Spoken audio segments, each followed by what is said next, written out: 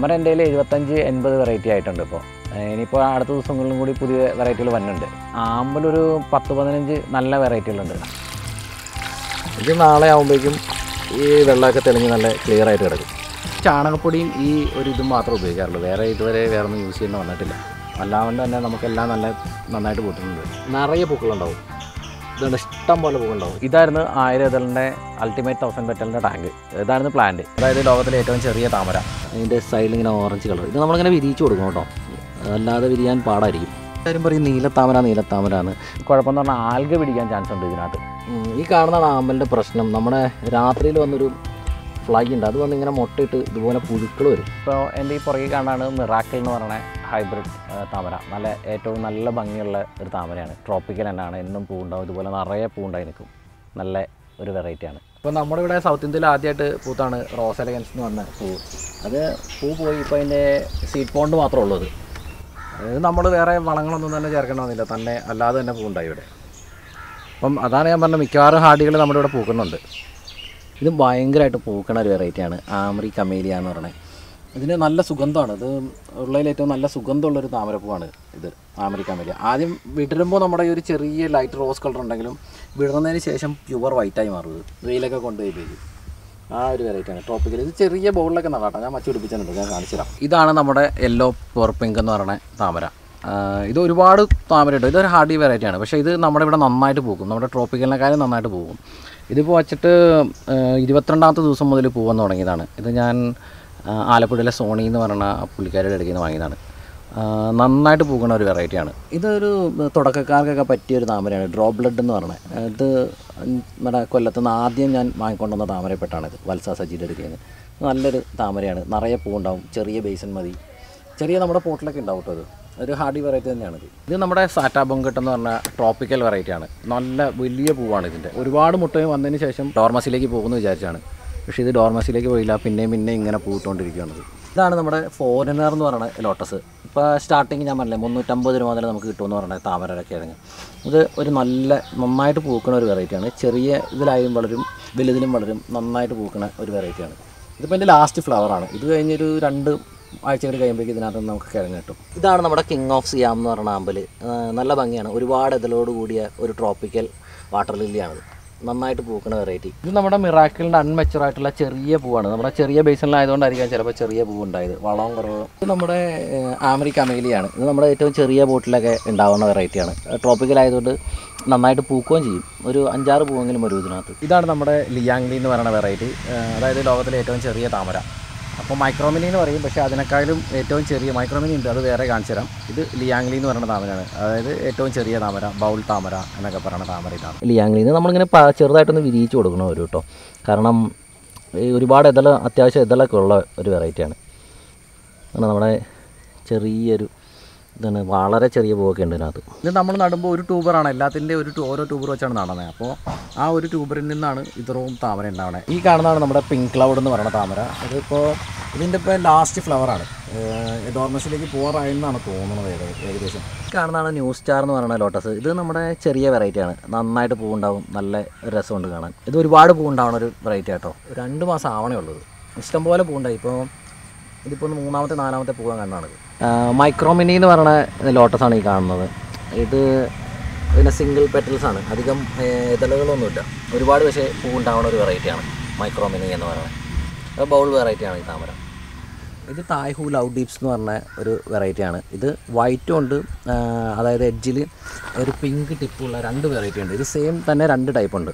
ഇത് നമ്മുടെ മുട്ടിട്ട താമരയാണ്. തായ് who love ഡീപ്സ് തന്നെ പിങ്ക് ടിപ്സ്. ഇത് നമ്മുടെ ഓറഞ്ച് ലോക്കൗട്ട് എന്ന് പറഞ്ഞ ഒരു താമരയാണ്. ഒരു വെറൈറ്റിയാണ് അതിന്റെ സൈഡിൽ ഇങ്ങനെ ഓറഞ്ച് കളർ ഇത് നമ്മളിങ്ങനെ വിരിയിച്ച് കൊടുക്കും കേട്ടോ.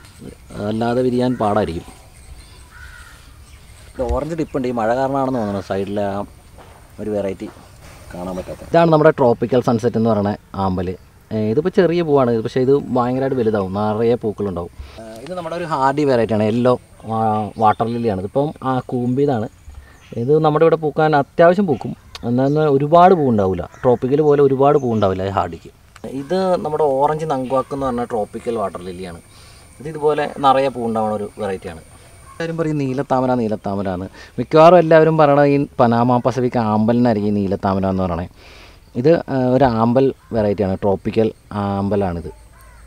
ഇത് ക്യൂനോസിയ എന്ന് പറഞ്ഞൊരു ട്രോപ്പിക്കൽ വിവിപാരറ്റ്സ് വാട്ടർ ലില്ലിയാണ്. ഈ വിവിപാരറ്റ്സ് എന്ന് പറഞ്ഞു കഴിഞ്ഞാൽ നമ്മുടെ ഇലകളിൽ നിന്നൊക്കെ തൈ മുളച്ച് വന്ന ഒരു വെറൈറ്റിയാണ്. ഈ നോടിൽ നിന്ന് മുളച്ച് മുളച്ച് വരും പുതിയ പുതിയത് ഇതാണ് നമ്മുടെ ലിറ്റിൽ റെയിൻ എന്ന് പറഞ്ഞ നന്നായിട്ട് പൂക്കണ ഒരു ചെറിയ വെറൈറ്റിയാണ്. നിറയെ പൂക്കളുണ്ടാവും. ഇതുകൊണ്ട് ഇഷ്ടം പോലെ പൂക്കളുണ്ടാവും. ഇതിപ്പോൾ ഒരുപാട് പൂ ഉണ്ടായതിനു ശേഷം വന്ന അടുത്ത അടുത്ത സെറ്റ് പൂക്കളാണിത്. ഇതായിരുന്നു ആയിരം ഇതളിന്റെ അൾട്ടിമേറ്റ് തൗസൻഡ് പെറ്റലിന്റെ ടാങ്ക് ഇതായിരുന്നു പ്ലാന്റ് പക്ഷെ ഇതിനകത്ത് ഒരു ഒരു പൂ ഉണ്ടായതുള്ളൂ മാവേലിക്കരയിലെ ശ്രീലേഖ എന്ന് പറയുന്ന ടീച്ചർ അടുക്കാണ് മേടിച്ചത്. അപ്പോൾ ഇത് വാങ്ങി രണ്ടര മാസം കൊണ്ട് പൂവുണ്ടായി. ഇത് ഇതിന്റെ പ്രത്യേകത എന്താണെന്ന് വെച്ചാൽ ലാർജ് കൾട്ടിവേറ്ററാണ് നമ്മൾ ചെറിയ ബേസിനിൽ പൂവുണ്ടാവും എങ്കിൽ തന്നെ ഇതിന് വേഗം പൂവുണ്ടാവണമെങ്കിൽ നമ്മൾ ഈ വലിയ ടാങ്കിൽ വെച്ച് കഴിഞ്ഞാൽ വേഗം പൂവുണ്ടാവും അതായത് ഇതിനൊന്ന് സഞ്ചരിക്കാൻ ഇച്ചിരി സ്പേസ് കൂടുതൽ വേണം. അപ്പോൾ അഞ്ഞൂറ് ലിറ്ററിന്റെ ടാങ്ക് ആയതുകൊണ്ട് ഇത് വേഗം പൂണ്ടായി രണ്ടര മാസം കൊണ്ട് തന്നെ എനിക്ക് പൂണ്ടായി കിട്ടി. ഇതിന്റെ ട്യൂബർ ആവണമെങ്കിൽ നമ്മുടെ ഇതിന്റെ ഇതിന്റെ ഇലയെല്ലാം ഇതുപോലെ ഉണങ്ങി ശരിക്കും ഇത് ഫുള്ള് എല്ലാം ഉണങ്ങി ഇത് എന്താ പറയുക വളരാത്തൊരവസ്ഥ വരും. ആ സമയത്താണ് നമ്മളിതിന്റെ ട്യൂബർ എടുക്കണത് എന്നിട്ടാണത് സെയിൽ ചെയ്യണതും നമ്മളത് റീപ്പോർട്ട് ചെയ്യണതും എല്ലാം ചെയ്യണത്. അപ്പോഴാണ് ഇതിന്റെ അവൈലബിൾ ആവുള്ളൂ. അല്ലാണ്ട് ഇപ്പോൾ വളർന്ന് നിൽക്കുന്ന സമയത്ത് നമുക്കിത് പറയാൻ പറ്റില്ല. അപ്പോൾ നമുക്ക് ഇതിനകത്ത് എത്ര ട്യൂബർ ഉണ്ടാവുമെന്ന് നമുക്കിത് പറയാൻ പറ്റില്ല. അപ്പോൾ ചിലപ്പോൾ മൂന്നെണ്ണം ഉണ്ടാവും ചിലപ്പോൾ പത്തെണ്ണം ഉണ്ടാവും. അത് ഇതനുസരിച്ചിരിക്കും എങ്ങനെയാണെന്നുള്ള കാര്യം. മെയിനായിട്ട് നമ്മൾ ഇത് സ്ഥാപനം വളർത്തുന്നത് ബേസനിലാണ്.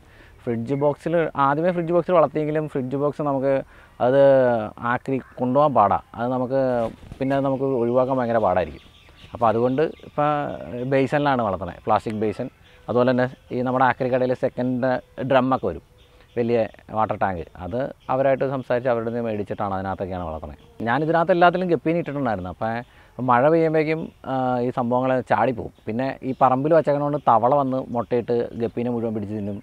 അതുകൊണ്ട് രണ്ട് ഗുണങ്ങൾ ഗുണമുണ്ട്. കൊതുകൊന്നും ഉണ്ടാവില്ല. പിന്നെ നമ്മുടെ ഗപ്പീനെ എല്ലാത്തിനെയും തവള കൊണ്ടുപോവുകയും ചെയ്യും.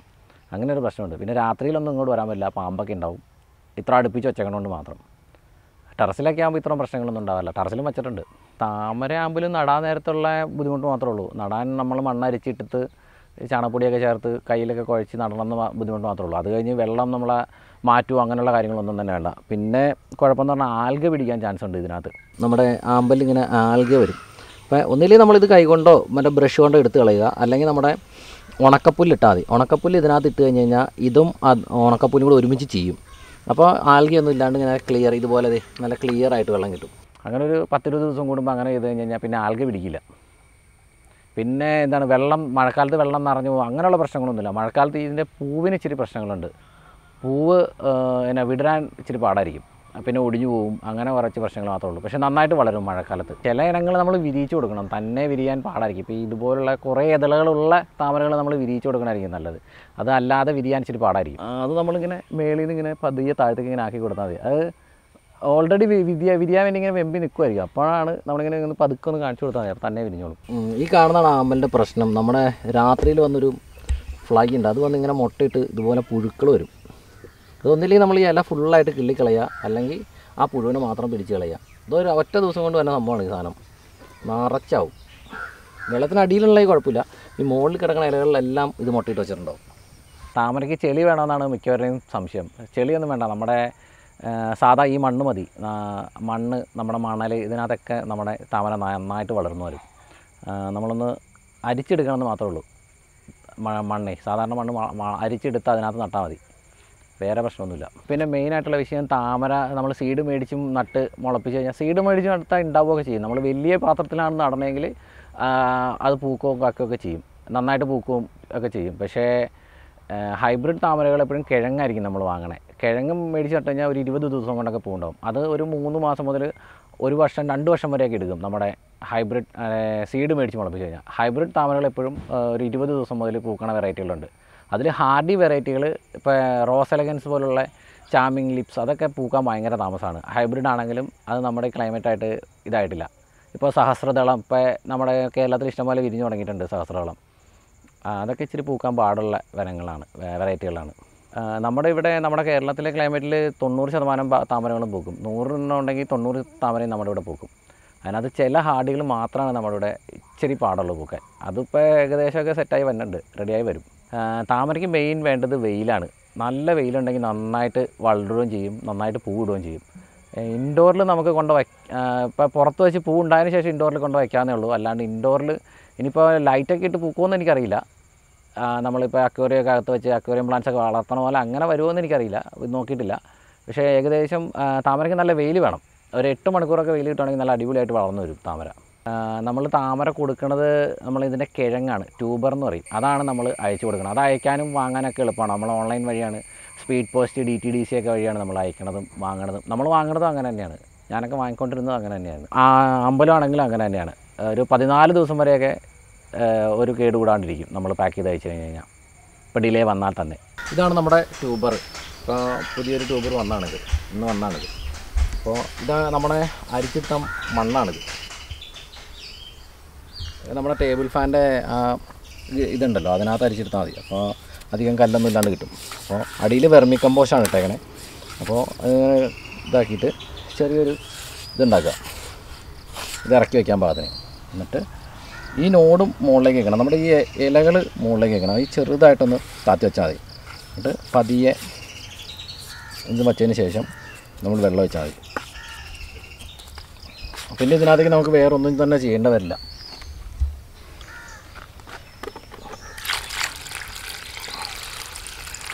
ഇത് നാളെ ആകുമ്പോഴേക്കും ഈ വെള്ളമൊക്കെ തെളിഞ്ഞ് നല്ല ക്ലിയർ ആയിട്ട് കിടക്കും.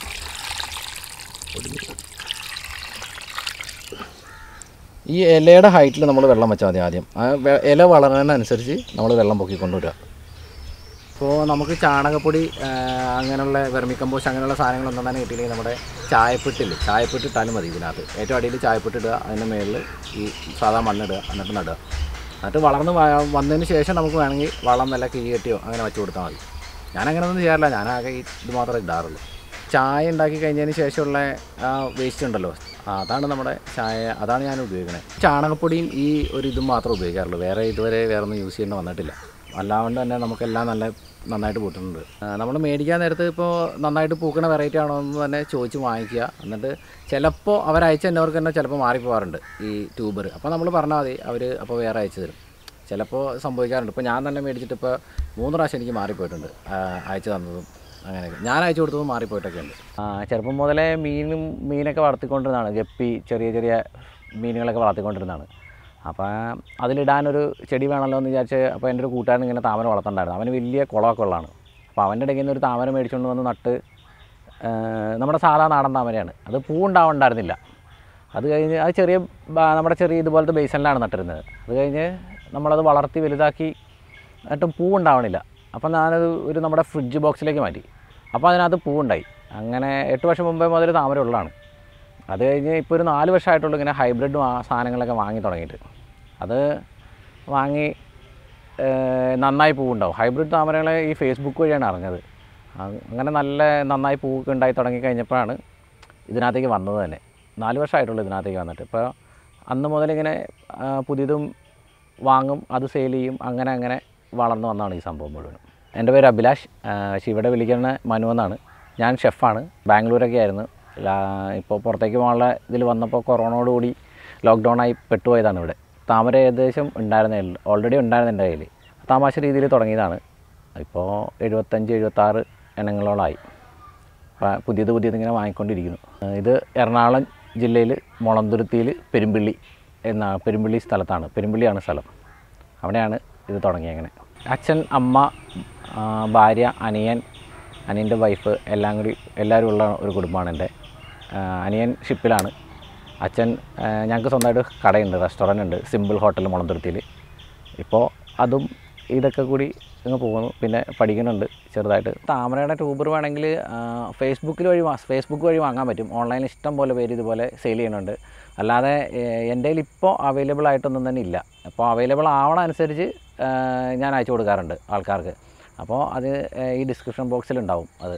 എന്റെ കോൺടാക്ട് നമ്പർ അതിനകത്ത് കൊടുത്തിട്ടുണ്ടാവും. അപ്പോൾ ഇവിടെ വന്ന് മേടിക്കാൻ പാടായിരിക്കും. കാരണം നമ്മൾ ആയിട്ടുണ്ടാവില്ല ആ സമയത്ത്. ആവണ അനുസരിച്ച് ഒന്നില്ലെങ്കിൽ നേരത്തെ പറയുവാണെങ്കിൽ നമ്മൾ റെഡിയാക്കി വയ്ക്കും അല്ലെങ്കിൽ ആവണ അനുസരിച്ച് അറിയിക്കും.